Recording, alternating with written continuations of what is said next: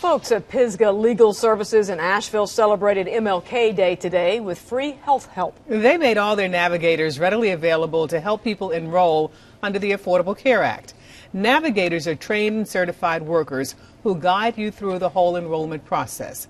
They will be offering this service every day from now until the deadline to enroll, which is February 15th. We are, as navigators, we're neutral, we're unbiased. There's no obligation to do anything if you meet with us, but we're more than happy to sit down and just talk through the information so that when people make decisions, they make informed choices that are best for them and their family. Pisgah Legal also has offices in Madison, Rutherford, Polk, Transylvania, and Henderson counties. You can schedule an appointment online by going to WLOS.com and clicking news links.